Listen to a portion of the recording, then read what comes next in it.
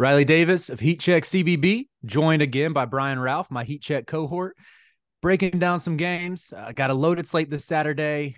One that might be flying a little under the radar is Kentucky playing Penn. Now we know that Penn um, they beat Villanova, sort of flummoxed them with their zone, uh, but do we think they can maybe pull off the second big upset again? They're playing in Philadelphia. Like the the the advantage is there for Penn, but how do you think they match up with this Kentucky team, Brian?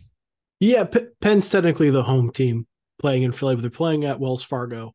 And uh, I have a feeling there's going to be a very large contingent of Big Blue Nation there. I don't think it'll feel like a Penn home game. Um, I I have a hard time believing Penn beats Kentucky or hangs in there. Really, um, I, I think the win over Villanova told us a lot about Villanova, which we've seen since they came back from Atlantis, uh, right. uh, as opposed to something about Penn. Penn's offense is is fine, and they can put up points against Kentucky. If Kentucky is not playing at its top level or, or, or bringing the intensity on the defensive end of the court, but this is a team that's three and three since that Villanova win. All three losses how come in overtime, but they haven't been against teams you would consider to be good teams. Uh, teams have figured out zone the, the zone defense they play. They rank outside the top 300 nationally in adjusted defensive efficiency. Um, given the way Kentucky can light teams up and the fact they may be a little uh, ready to make a statement coming off the loss of UNC Wilmington, I'm expecting a, a top tier performance from Kentucky, trying to bounce back, and I think that puts Penn in a in a tough spot here. Yeah, honestly, when I ask can Penn do it again and get a second, let's say blue blood slash blue blood light type upset, it was definitely tongue in cheek. I don't think there's any way Penn wins this game. Um, like you said, the teams that they've lost to, I mean, Maryland Eastern Shore, who yeah. covered the MEAC for the Almanac. I got a lot of love for the MEAC. I think Jason Crafton has done a f- tremendous job elevating that program from being like the worst in the country.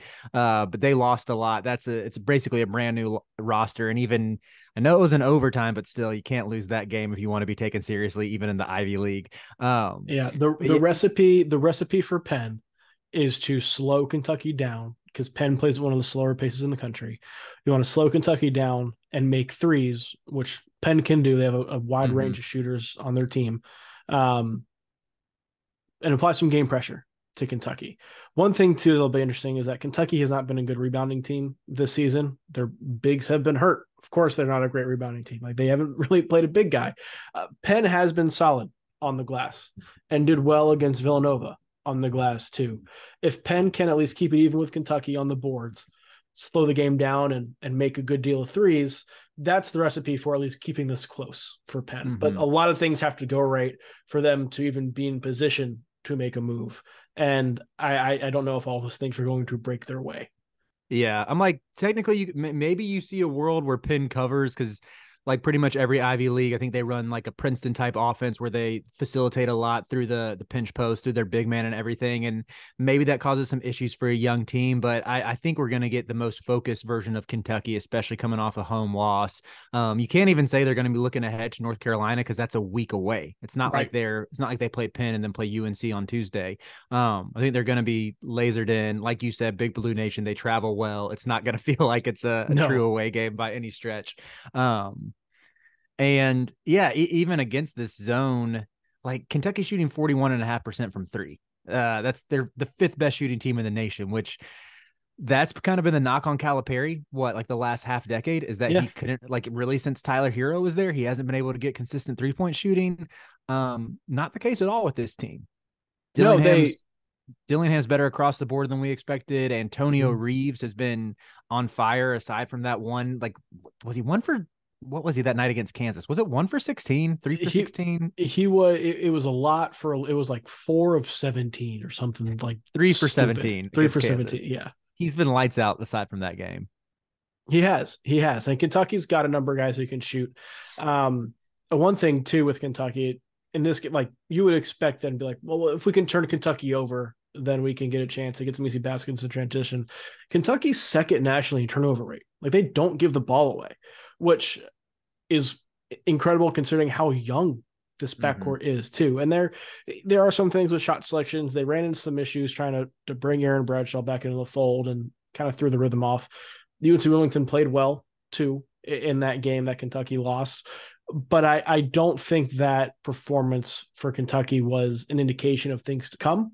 It felt like more of a, a blip on the radar than an, an indication of how this team is playing. You look mm-hmm. at everything that they've put forth on the court, where they project to grow. Like this team is viewed as a Final Four contender, a national title contender for a reason. I don't expect them to lose back to back games to UNC Wilmington and Penn. I'm with you. Any bold predictions about like who from Kentucky might have a big game? Like, could we get a little uh little Aaron Bradshaw breakout? You know, he's second game healthy. Um, yeah. Kentucky get him more involved. Kentucky needs him to be. I think this could finally be a game where we see Justin Edwards have a big impact because he he is the the mold that Penn's roster is not built to deal with. Mm-hmm. Uh, you know, super versatile, athletic, six eight guy with skill, can play at all three levels. Like that's that's a matchup nightmare for anybody, let alone an Ivy League team. Uh, I think we see a big game out of him. I like that pull, yeah, because again, I think you're you're spot on. That's the type of athlete that usually you even think about the NCAA tournament. Princeton's run last year, notwithstanding, when you think about those those Ivy League teams, they they struggle against NBA level athletes. It's uh, mm-hmm. just a matter of if they can be fundamental enough or whatever. I want to say like nerdy enough to make an Ivy League joke, but like to to to outsmart their opponent or something. But yeah, I think they struggle mm-hmm. to stop Justin Edwards, and maybe we see his best game so far.